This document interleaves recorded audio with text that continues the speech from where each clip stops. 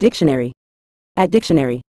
Re-examination, in a general sense, refers to the process or act of reviewing, scrutinizing, or re-evaluating something that has previously undergone examination or assessment.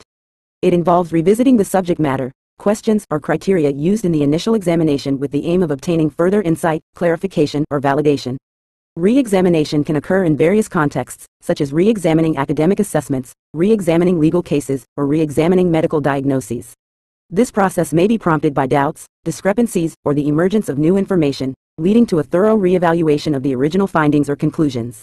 Re-examination aims to ensure accuracy, fairness, or comprehensiveness in the assessment process and may result in revised judgments, decisions, or actions based on the new insights gained.